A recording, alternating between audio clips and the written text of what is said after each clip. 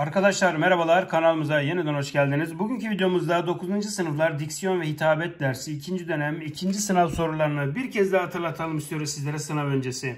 Aşağıdaki boşlukları uygun ifadelerle doldurunuz. Mutlaka sınavlarda böyle bir bölüm var arkadaşlar. Bizden şöyle bir ön hazırlık çalışmaları sizlere gelsin. Gözler yarı kapalı olursa kötülük ve nokta nokta göz kapaklarını indirerek saygı ve nokta nokta anlatılır ifadesinde. Arkadaşlar yarı kapalı olursa orada bir küçümseme var. Karşınızdaki insana yarım gözle bakarsak orada bir küçümseme olduğunu, göz kapaklarını indirerek saygı ve utanma, bakın buna dikkat edin, saygı ve utanmanın anlatıldığında hatırlatmış olalım. İşaret parmağı düz olarak ağza yaklaştırılırsa nokta nokta anlamı taşır. Bu hastanelerde görmüşsünüzdür arkadaşlar. Hemşirelerin parmağını ağzına doğru tutması bir susturmayı ifade eder. Dolayısıyla cevabımızı bu şekilde dolduralım. Avuç içi yüre e, yüreğin üzerine bastırılarak sevgi ve heyecan anlatılır. Evet bu sevgi ve heyecana dikkat edelim. Dördüncü ifademizde Ağzın çok açılması nokta nokta anlatır. Arkadaşlar tabii ki şaşkınlığı anlatır değil mi? Şaşkınlığı buraya da dikkat edelim. Aa deriz ağzımızı açarız ya işte burada şaşırdığımızı ifade etmiş oluruz. Cevabımız belli.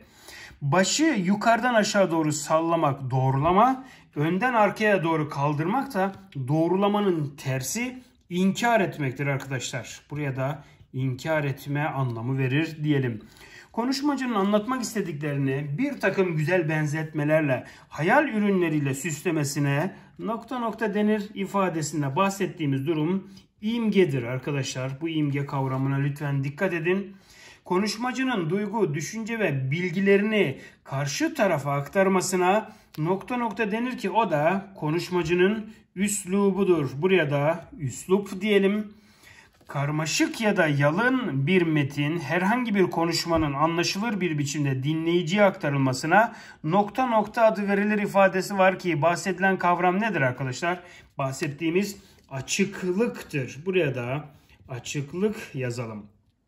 Yüz kaslarının anlatım amaçlı kullanımı nokta nokta. Bakın yüz kasları, yüz hareketleri bize arkadaşlar mimikleri hatırlatsın. Hemen buraya mimikleri baş, el, kol, ayak ve bacak ve bedenin kullanımı da jestleri hatırlatsın. Bunları tersini karıştıranlar oluyor. Yüzümüzde mimik, elimizde kolumuzda jest var. Bunu unutmayın arkadaşlar. Diyoruz ve geçiyoruz bir başka bölüme. Evet B kısmında bahsedilen doğru yanlış ifadeler var arkadaşlar. Verilen bilgiler doğru mu yanlış mı? Hadi birlikte irdeleyelim.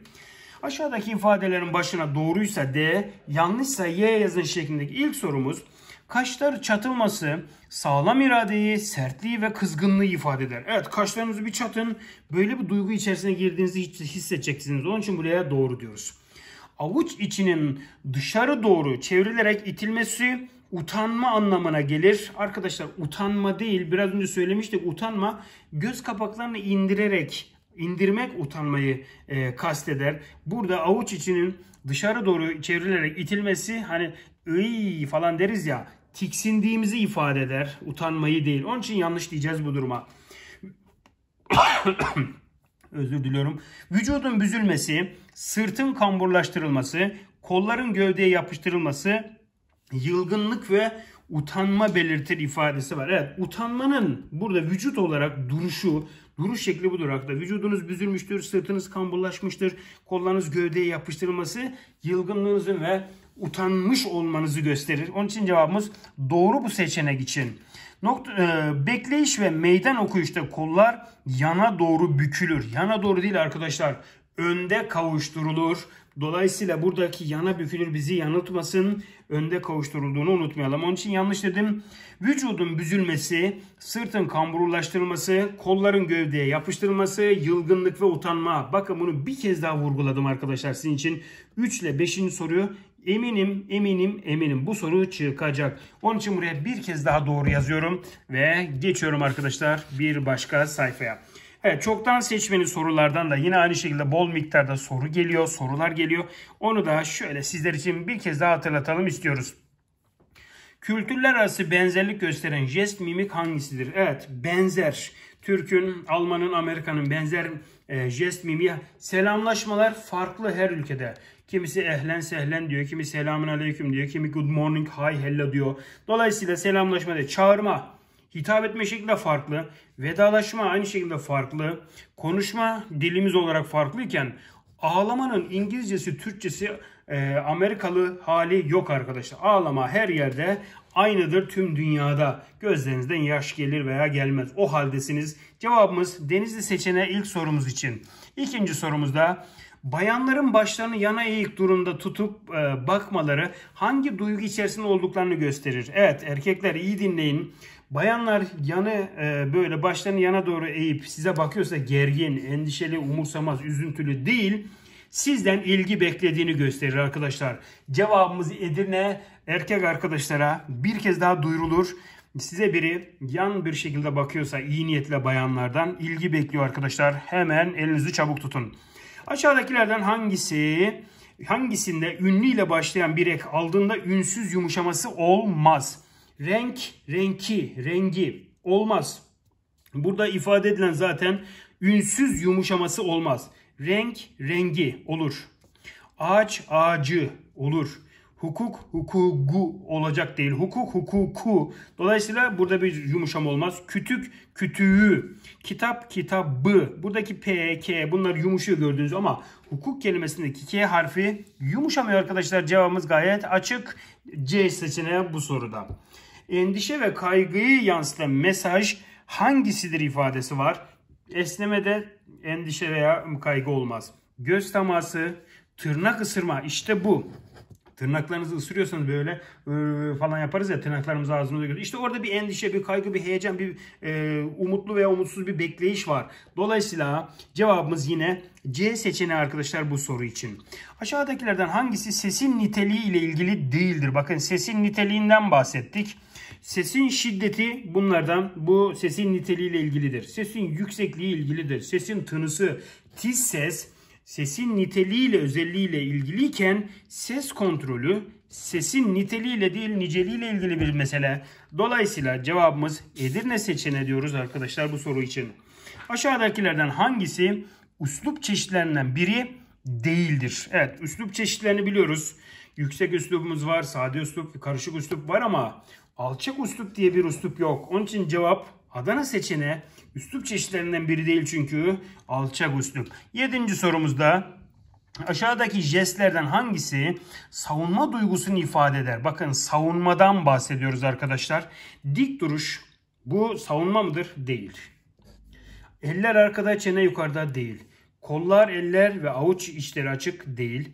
Yan gelip yatma hiç değil. Kolları göğüste kavuşturma bir savunma duygusunu ifade eder arkadaşlar. Bu vücut hareketlerimize lütfen dikkat edelim. Cevabımız Denizli seçeneği diyoruz 7. soru için. 8. sorumuz aşağıdakilerden hangisi araç ve aksesuarları mesaj amaçlı kullanma nedeni sayılmaz? Bakın mesaj amacı olacak. Farklı görünmek bu amaçlardan biri mi? Evet. Niyeti ifade etmek evet. Kullanılan araçları beğenmek evet. Dikkat çekmek evet ama araç ve aksesuarları tanıtma gibi bir amaç söz konusu değil. Onun için cevabımız Denizli seçeneği olmalı bu soru için. Aşağıdakilerden hangisinde büyük ünlü uyumu yoktur? Akşamleyin arkadaşlar büyük ünlü uyumu biliyorsunuz ki A, I, O ve U kalın sesli harflerle başlayıp kalın sesli de devam ediyorsa veya E, I, Ö ve Ü ince sesli harflerle başlayıp ince sesli hece harflerle devam ediyorsa uyuyor demektir. Ama ortada bir karışık durum varsa büyük ünlü uyumu aramaz. Bakın kalın kalın, ince ince. İşte ünlü uyumu bu da yok ama ince ince ince ince, kalın kalın kalın kalın, kalın kalın kalın, kalın kalın kalın görüyorsunuz. Nasıl başlıyorsa öyle devam etmeli ki büyük ünlü uyum olsun. Burada hem kalın hem ince ünlü harfler bir arada verilmiş. Onun için büyük ünlü uyumu yok arkadaşlar. Cevabımız Adana seçeneği olacak. Bu seçeneği olacak bu soru için. Aşağıdaki ünsüzlerden hangisi bir yönüyle diğerlerinden farklıdır? Evet. F, S, K, G, P. Arkadaşlar hemen fıstıkçı şah aklınıza gelsin. Fıstık, çı, şah, hap. Bakın bu sert sessiz ünlüler ama bunlardan bakın F sert sessiz. Fıstıkçı şahabın içerisinde var ama G harfi biliyorsunuz ki sert sessiz değil arkadaşlar yumuşak sessiz bir harf. Onun için bir yönüyle diyor ya işte bahsettiği sert mi ses e, yoksa yumuşak bir ünsüz mü oydu bizden istenen. Onun için böyle düşünerek cevabın D olduğunu bulduk. Çünkü sert sessiz değil G harfi. E, insanların duygu, düşünce ve isteklerini ifade etmek için kullanabileceği en önemli araç aşağıdakilerden hangisidir? E tabii ki iletişim gerekiyor. Diksiyon, telefon, dil, bağlamdan ziyade iletişiminiz varsa duygunuzu da, düşüncenizi de, isteklerinizi de çok rahat ifade edersiniz arkadaşlar. Onun için iletişim çok çok önemli diyoruz. Cevabımız belli bu soru için. Herhangi bir dilden bilinen tarihi seyir içinde veya daha önceden ayrılmış olup ses, şekil ve kelime ayrılıkları gösteren en e, büyük farklılığa ne denir? Bakın ses, şekil ve kelime farklılığı bize lehçeyi ifade eder arkadaşlar. Şive, ağız, dil, köken değil. Buradaki bahsedilen kavramın lehçe olduğunu bir kez daha hatırlatalım istedik sizlere. Aşağıdakilerden hangisi diksiyon kurallarından biri değildir? Hece ve sözcük vurgusuna dikkat etmek bunlardan biri.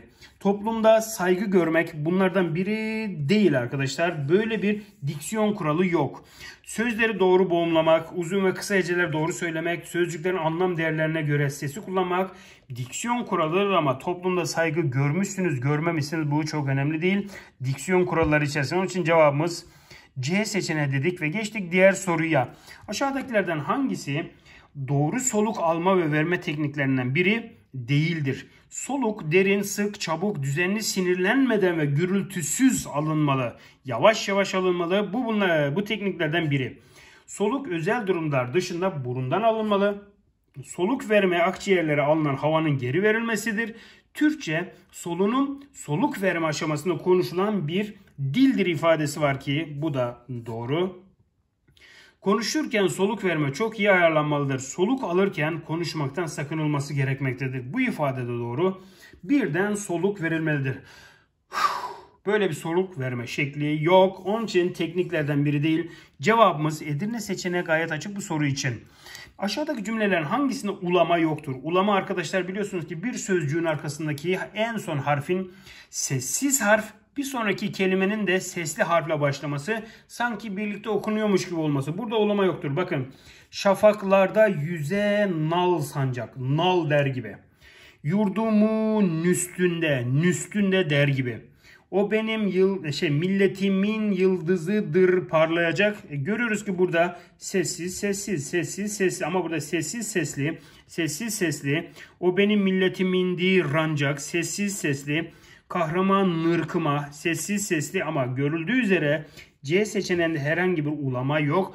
Ulamaya sebep verebilecek bir sessiz harfler bitişip bitip sesli harfle başlayan bir kelime yok. Dolayısıyla cevabımız gayet açık. Ulamanın ne olduğunu bilelim. Yeterli arkadaşlar. Gerisi bebek işi zaten görüldüğü üzere. Diğerine bakıyorum. Sıkılı yumruk dudakların sıkılması, burundan gürültülü soluma hangi duygunun yaşandığını ifade eder. Ara ara bu duyguları yaşıyoruz değil mi? Öfkedir arkadaşlar. Birine saldırmak üzere olan bir insanın son durumudur öfkesi. Dolayısıyla cevabımız denizli seçeneği. Ağzımızdan bir kere de çıkan ses topluluğuna ne denir? A. Gel. Git. Dur. Yap. Gibi. Biz buna ne diyoruz arkadaşlar? Adı üstünde. Ağzımızdan bir kez çıkıyor. Bak A, B, C demiyoruz. Onun birkaç tanesine oluşan heceden bahsediyoruz. Gel, git, o gibi. Dolayısıyla cevabımız Bursa seçeneği gayet açık bu soru için. Ses organları tarafından seslerin doğru yerden ve doğru zamanda çıkmasına ne denir ifadesi var. Evet. Ses organları tarafından seslerin doğru yerden ve doğru zamanda çıkmasına tabii ki fonetik, ulama, vurgulama, tonlama değil, boğumlama diyoruz arkadaşlar. Boğumlama kavramında iyi bilin çünkü geliyor sınavlarda. Türkçe sözcüklerde genellikle şiddet vurgusu yani hece vurgusu hangi hecede olur arkadaşlar? Malumunuz üzerinde Türkçe'de hece vurgusu sondadır. Onun için cevabımız Denizli seçeneği arkadaşlar bu soru için. 20. sorumuzda aşağıdaki cümlenin sözcük vurgusu hangisinde verilmişti? Bakın cümledeki sözcük kelime vurgusundan bahsediyoruz. Sevgisiz arkadaşlığın kimseye yararı yoktur. Bakın nesi yoktur? Ne, neyin olmadığından bahsediyoruz? Yarardan. Dolayısıyla yararı yoktur kelimesi burada C seçeneğinde gizlenmiş. Onun için cevabımız C seçeneği olacak arkadaşlar. Diyoruz ve geliyoruz bir başka sayfa ve soruya. Evet burada bahsedilen sorumuz otururken ayakların açık olarak durması erkeklerin hangi durumunu gösterir? Hani deriz ya peşin satan gibi oturuyor bacak bacak üstüne veya bacakları açarak. O insanın rahat olduğunu gösteriyor arkadaşlar. Rahatlık ve güven duygusu içerisinde olduğunu gösteriyor cevabımız Adana seçeneği. Yukarıdaki yüz ifadelerinde hangisi için yanlış bir açıklama yapılmıştır? Bakın yanlış bir açıklama var. Bakalım hangisinde? Birinci ifadeye bakalım arkadaşlar. A yüzünde. Bakın buna göre kodlanmış. Dikkat edin. Sahte bir mutluluk var. Evet pis pis gülüyor deriz ya. İşte öyle bir durum var. Ama yanlış bir ifade bu doğru. Sorgulayıcı ve otoriter bir durum var mı B'de? Hiç sorgulayıcı bir tip var mı arkadaşlar? İşte yanlış olan bu. Şüpheci bir durum var. Hmm, kaşların bir aşağıda bir yukarıda şüphecilik söz konusu var. Derin bir keder içerisinde D'ye bakın. Evet üzülmüş kaşlar aşağı inmiş. Bunda da doğru. Düşmanca ve öfkeli bir tavır var görüyorsunuz kaşları. Bu da doğruyken ama B seçeneğinde yüz ifadenin sorgulayıcı otoriter bir hali yok. Onun için cevabımız B Bursa seçeneği arkadaşlar 22. soruda. 23. sorumuz kişinin başka birine yan bakması hangi mesajı ifade eder arkadaşlar? Hani deniz ya ne bakıyorsun arkadaş ne bakıyorsun birader falan deriz ya yan yan bakıyorsun. İşte buradaki kasıt bahsedilen ilgi ya da saldırma. Biraz önce dedik ya bir kız size veya bir erkek size böyle yan yan mıyıl mıyıl bakıyorsa tabiri caizse sizden ilgi bekliyordur. Ama böyle kötü niyetle yan yan birine baktığınız zaman da saldırma ifadesi var. Hem ilgi hem saldırma diyelim daha da düzgün olsun. Cevabımız B seçeneği bu soru için.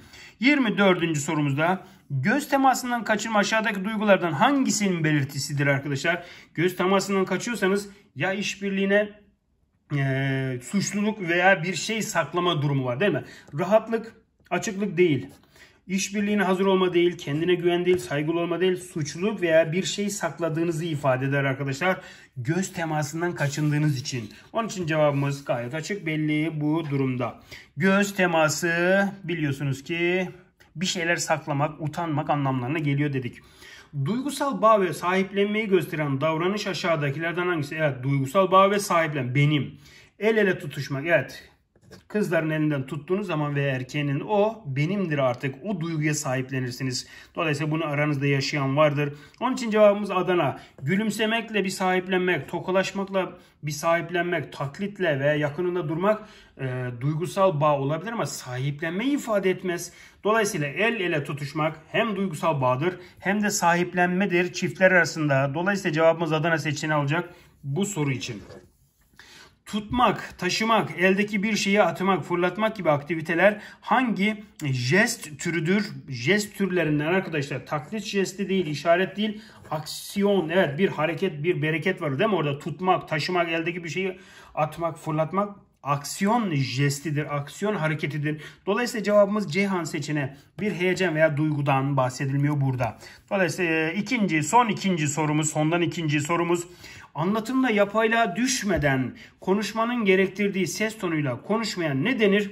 E, yapayla düşmüyorsak doğalız demektir. Cevabımız içtenlik, akılcılık, taklit, özgünlük değil. Yapaylığın zıtlığı doğallıktır arkadaşlar. Cevabımız Edirne seçeneği diyelim ve son sorumuza bakalım. Konuşmacının duygu, hayal ve heyecanını dinleyenlere de yaşatabilme gücüne ne ad verilir? Evet konuşmacı bunu yapabiliyorsa arkadaşlar incelik, taklit, hareket, içtenlik değil, duygunluğunu ön plana çıkarıp duygularını da size anlatabiliyordur. Bunu yaşatabilme gücüne sahiptir demek. Onun için cevabımız Ceyhan seçeneği diyelim ve bugünkü videomuzun sonuna gelelim. Arkadaşlar kanalımızın ismi Özel Öğretmen. Abone olmayı unutmayın lütfen parolasıyla. Hepinize sınavlarınızda başarılar diliyoruz. Hoşça kalın ama lütfen Özel Öğretmen kanalımızda kalın.